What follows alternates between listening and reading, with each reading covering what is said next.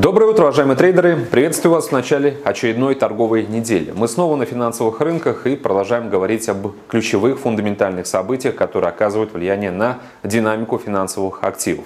По прошествии выходных фокус внимания трейдеров, инвесторов и общественности все еще прикован к распространению вирусной инфекции, которая охватывает все больше и больше городов. Появилось много сайтов, которые позволяют в режиме онлайн мониторить ситуацию с распространением вирусной инфекции. Я думаю, что многие из вас уже с некоторыми из них познакомились. Но статистика, друзья, в целом пугает. Это самая настоящая эпидемия. Количество инфицированных уже около 20 тысяч, смертей больше 400. Есть даже проекция на то, как ситуация будет развиваться дальше, если темпы распространения останутся прежними.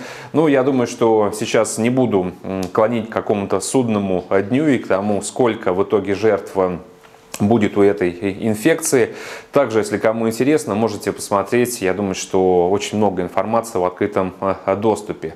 Э, мы смотрим на вирус с точки зрения влияния на финансовые рынки. И, как я и говорил, неделю и две назад, друзья, пока э, ситуация вокруг распространения вирусной инфекции, да и в целом сам вирус не будут локализованы, пока мы не найдем повод говорить, что пик, опять же, роста распространения географии, масштаба а, миновал, и сейчас а, все идет на спад, мы будем возвращаться к идее повышенного спроса на защиту. То же самое также сейчас это актуально и в начале новой торговой недели. Азиатские площадки открылись сегодня после выходных дней китайского Нового года с сокрушительного обвала, э, потеряв э, около 10%. Я думаю, что такая динамика будет э, преобладать и дальше. Очень много статей это крупных инвестбанков были опубликованы в эти выходные с точки зрения оценки последствий влияния Э, распространения вирусной инфекции на мировую экономику. И сейчас считается, что даже если вирус вот сегодняшнего дня пойдет на спад, его последствия все равно будут сопоставимы с финансовым экономическим кризисом 2008 года. Если же ситуация с вирусом затянется еще на месяц, другой, как это было с атипичной э, пневмонией, то тогда мы будем констатировать неизбежный спад мировых фондовых рынков процентов на 20. Как это отразится на стоимости сырьевых инструментов, я думаю, вы все прекрасно можете догадаться. Поэтому на этой ноте предлагаю перейти к нефтянке, которая сейчас котируется по Brent на уровне 56.48. При этом лоу, который был зафиксирован а также в рамках текущей торговой сессии, это 55.79. Уровень 55 значился как наша цель. Я абсолютно был уверен, то, что мы до него доберемся. Учитывая, как э, эм, сохраняются пессимистичные настроения на рынке, учитывая, как э, участники рынка смотрят не радужным образом на перспективу риска и на мировую экономику, темпы ее роста, я думаю, что, друзья, нефтянка преодолеет уровень 55 долларов за баррель и пойдет э, ниже. Китайские промышленные предприятия, их работа приостановлена до 10 февраля, возможно продлят еще а период этих вынужденных э, каникул в купе с падением потребительской активности на китайском рынке. Ранее мы считали, что это отразится на ВВП э, Китая потери в 1%. Сейчас я думаю, что можно говорить уже о потере больше, чем в полтора процента. Нефтянка снижается, поскольку очень сильно падает спрос на углеводороды. Э, по текущим оценкам это уже минус 250 тысяч баррелей в сутки. Э, основные потери пришлись на авиационный керосин, поскольку фактически Весь Китай находится сейчас э, в вакууме, под куполом. Авиационные сообщения прекращены, границы закрыты. И до какого дня, до какого периода все это будет продолжаться, друзья, очень трудно сейчас прогнозировать. Я думаю, что в рамках этой недели, к сожалению, ничего не изменится, но ситуация может усугубиться. При всем уважении к ОПЕК, э, вряд ли ему удастся стабилизировать э, ситуацию в плане спроса и предложения и уж точно вернуть оптимизм в отношении будущего рынка углеводородов. Поэтому давайте использовать текущую ситуацию, потенциал снижения бренда по-прежнему сохраняется.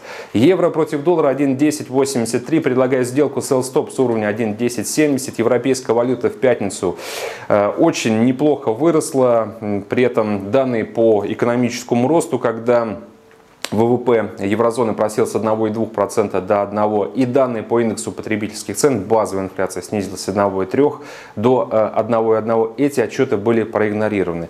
Неправильная э, позиция и подход трейдеров, поскольку такая статистика, разумеется, приближает нас к неизбежности дополнительного смягчения монетарной политики. Важно, друзья, чтобы вы прекрасно понимали, что евро на этом фоне будет позиционно ослабеть.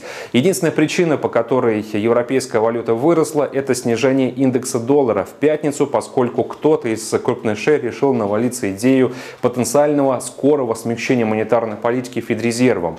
Но, друзья, э, вряд ли э, о снижении процентной ставки мы будем говорить в этом э, квартале в США.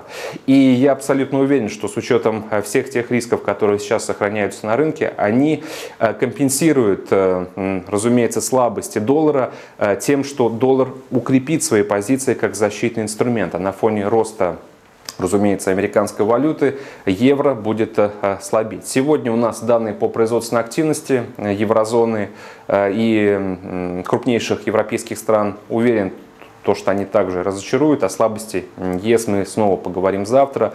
Евро уже снижается. Я думаю, что возвращение к отметке 1.10 это вопрос ближайшего времени. Фунт против доллара 1.3165. Здесь также сделка sell stop с уровня 1.3040. Англия вышла из состава Европейского Союза. Теперь наступил и начался переходный период, который продлится до конца 2020 года. Очень много воды еще, друзья. Э, много будет неопределенности и соответствующего давления. Предлагаю держать пока короткие позиции и ждать, пока э, фунт все-таки доберется до цели, обозначенной ранее на уровне 1.28. Австралиец против доллара 0.6702. Э, Считайте, что сейчас очень хорошая возможность продать, допродать австралийца. Впереди решение по процентной ставке, а также комментарии Филиппа Лоу, который даст оценку последствиям лесных пожаров и распространения коронавирусной инфекции на австралийскую экономику. Это все в ближайшие дни. Я думаю, что при раскладе э, неизбежного подтверждения снижения негатива, негативного воздействия на австралийскую экономику и снова повышение шансов на смягчение а политики австралиец завершит эту неделю э, ближе к уровню 0,66. Доллар канадец 1,3241, темп экономического роста ВВП в целом порадовали 0,1 э, с минус 0,1%, но участники рынка на статистику не обратили никакого внимания, потому что в отношении канадца сейчас определяющим катализатором является нефть. Нефть снижается, вот, пожалуйста, и канадский доллар также э, ослабеет. Золото, друзья, стремится к новым максимумам. На текущий момент по золоту мы констатируем уровни 1580. Я думаю, что в ближайшие дни увидим и планку 1600.